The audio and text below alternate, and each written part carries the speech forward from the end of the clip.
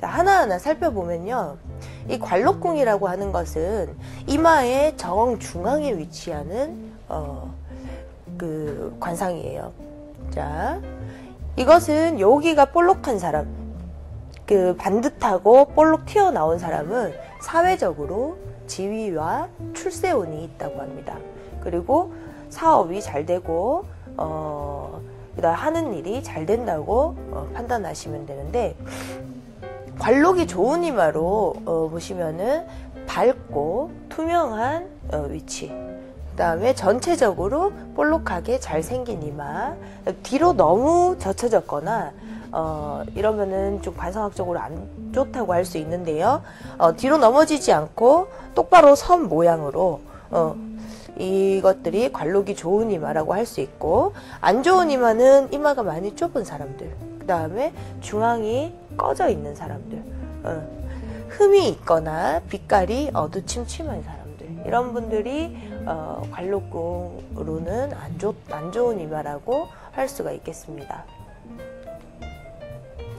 천이궁은 지금 헤어라인 양쪽 끝 눈썹 끝에서 긴 머리가 난 그곳까지 얼굴의 측면을 말하는데요.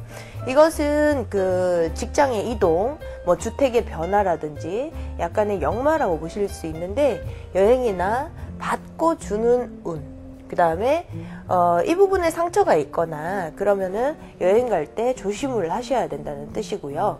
음, 여기 보시면 어, 그 갑자기 안색이 이쪽 부분이 어두워진다든지 어, 그러면은 여행을 자제하는 것이 좋습니다. 자 그러면 지금 일을 연장하는 기간은 이, 이 암색이라고 하는데 이 암색이 지워질 때까지 약 15일 정도 일을 연장을 하는 것이 좋고요. 이 가장 좋은 천이궁의 조건은 어, 살이 도톰하게 차올라 있는 것. 어, 약간 편편하게 이렇게 전체적으로 편편하게 이렇게 나인 그 올라온 이마가 좋다고 할 수 있겠습니다. 그래서 이 천이공이라고 하는 것은 우리 역마살과 관계가 있는 역마공이라고 할 수 있습니다. 자, 그 다음에 복덕궁인데요. 어, 복덕궁은 눈썹 끄트머리 상단에 요 이마에 위치하는 요 자리입니다. 이마 쪽 좌우 두 개의 복덕궁이 위치를 하는데요. 이것을 천창이라고도 합니다. 여기는 이 자리가 좋으면 어, 기회가 좋고 그 다음에 어떤 횡재수라든지 물질운이 있다고 보시면 되고요. 음, 마찬가지로 피부색이 맑고 밝으면 복이 찾아든다고 합니다. 그 다음 부모궁이에요. 자, 부모궁은 부모에게 받을 복을 말하는데 관록궁을 중심으로 양쪽 좌우 2cm 정도의 이마의 일면을 말합니다. 여기가 이제 반반하고 흠집이 없어야지 부모가 안부가 편하고 또 어, 부모 자리가 좋다고 하는데요. 오른쪽이 아버지고 왼쪽이 어머니를 뜻합니다. 자, 이것은 지금 홍색, 황색, 밝은색 선명하면 건강에나 부모가 장수하거나 부모가 부모에게 기쁜 일이 있는 것이고요. 이쪽 부분이 어둡고 꺼져 있거나 청색이나 검은색 어, 이런 부분이 있으면 집안에 우환이 있거나 부모님이 일찍 돌아가신다 이렇게 보시면 됩니다. 그리고 만약에 눈썹이 이중이거나 그러면 부모가 재혼할 운이라고 하는데요. 자, 그 다음에 형제궁을 한번 보겠습니다. 형제궁은 눈썹 바로 윗부분, 어, 양쪽을 뜻하는데요.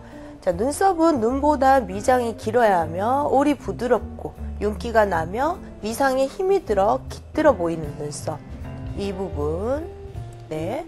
그러니까 눈썹 올이 억세거나 아니면은 산만하거나 흩어져 있거나 아니면 잘려 있거나 수치 너무 없는 것은 인덕이 안 좋다고 해요. 그래서 우리가 반영 과장을 할 때 눈썹이 없는 분들은 이 대인 관계, 인덕이 좋으려면은 꼭 해야 된다는 거죠. 그래서 채워줘서 그 사람이 관상운을 조금 더 보완을 해서 좋게끔 우리가 표현을 해줄 수가 있는데요. 남성은 좌미에서 형제운을 알 수가 있고요. 여성은 우미에서 자매운을 알 수가 있어요.